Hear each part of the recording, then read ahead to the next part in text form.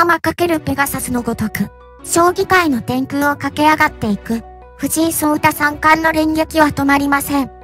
11月5日では、王将戦で宿敵豊島竜王を撃破し、翌週の同じく王将戦では、数々の伝説を築いた羽生善治九段をも倒し、これで、王将戦は怒涛の4連勝無敗。いよいよ、王将戦タイトル挑戦が濃厚になってきました。去年の王将戦はボロボロだったのに、今年の藤井三冠は絶好調やな。恐ろしさを感じるほどに強すぎる藤井三冠の快進撃。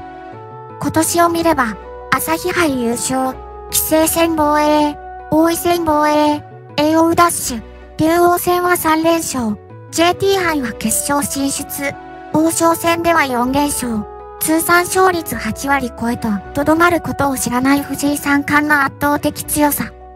まさに、将棋界の台風の目となり、機械は、藤井三冠を中心に動いていると言っても過言ではありません。この状況で、警戒心を高めているのが渡辺明名人。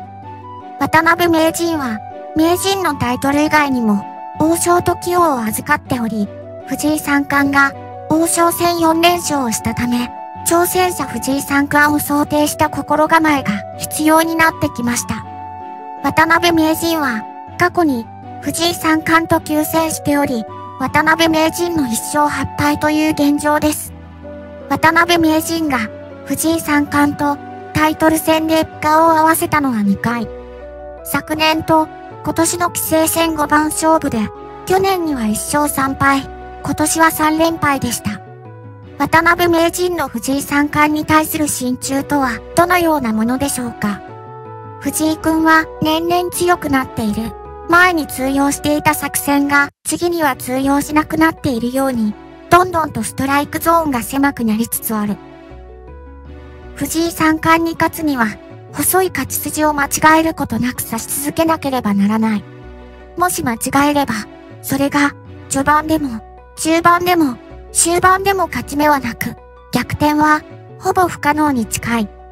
取り立てて策はないです。奇策が通じる相手でもないし、自分は、もう、将棋を一から作り変える年齢ではありません。自分がトッププロとしてやるのも、あと5年くらいでしょう。もっと若かったら、藤井さんに勝つために、将棋の型を作り変えることも考えるかもしれませんけどね。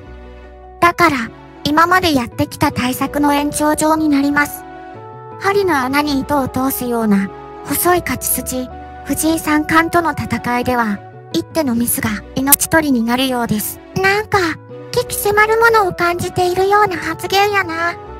渡辺名人のような、ごっつい騎士に、こんな発言をさせる藤井三冠が恐ろしいわ。ひしひしと伝わる渡辺名人の緊張感。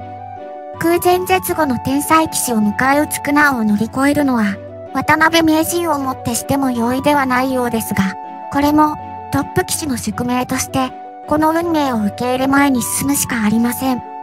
渡辺名人も、ただ晩作尽きて、運を天に任せるような無策ではなく、藤井さん感染に備えて100万円以上するパソコンを購入し、ニュータイプの将棋ソフトを導入しました。まだ試行錯誤中で、具体的な成果が出るのはしばらく先ですね、と渡辺名人は語ります。論理的思考に秀でている渡辺名人は AI を使って戦略を構築するのが得意で、今、自分がキャリア最後のピークを迎えているのは3年くらい前から始めた AI 研究が自分の特性に合っていたからなんです。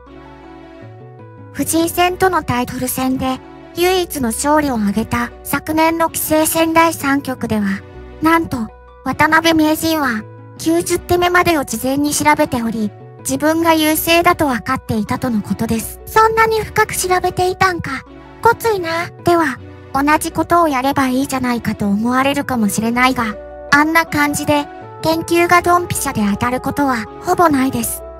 途中で行って外れてしまったら、もう、その研究はパーになるので、藤井三冠の強さについて、渡辺名人は、頭の回転の速さですね。計算力と言い換えてもいいかもしれません。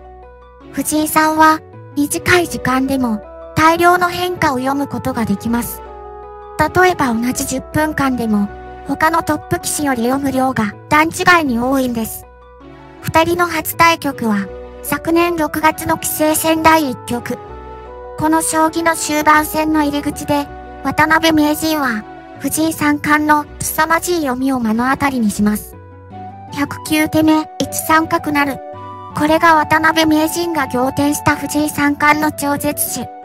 この手の後に、渡辺名人からの猛烈な大手ラッシュを食らうことになるこの一手。実際に、渡辺名人は、126手目から156手目まで、ひたすら、藤井玉に王手をかけ続けました。盤上で、渡辺軍が、藤井玉を矢継ぎに攻撃する、まさに積むやつ混ざる矢の攻防戦です。終盤戦なので、時間が切迫しており、わずか2分しか残っていなかった状況で、藤井三冠は、一人、積みなしと読み切っていたのです。藤井三冠の玉は盤上を駆け回り、渡辺名人の強烈な追い込みを振り切り勝利しました。注目の初タイトル戦で、強烈なインパクトにより日本中を震撼させた藤井三冠の終盤力。精度、スピード、深さ、そのどれもがトップ棋士を凌駕しており、後に将棋大賞で名曲賞に輝いたこの戦いは、藤井三冠の強さを象徴する後世語り継がれるであろう名曲となりました。当時の戦いについて、渡辺名人は自分が見た中では、かつてない勝ち方です。時間があっても、あの自玉が積むかどうかを読み切るのは不可能ですが、藤井さんにはできてしまう。藤井三冠は、なぜにこれほどまでに強いのか、渡辺名人は、この問いについて、シンプルに才能と答えました。いろいろなところで言ってますけど、将棋は才能が占める割合が大きいと思っています。よく才能か努力かという議論がありますけど、僕は才能同者なんですよ。努力ができるかどうか、という性格も、親から引き継ぐものですし、すべてが才能で決まるとは言えませんけどね。この流れは、もうあれやな。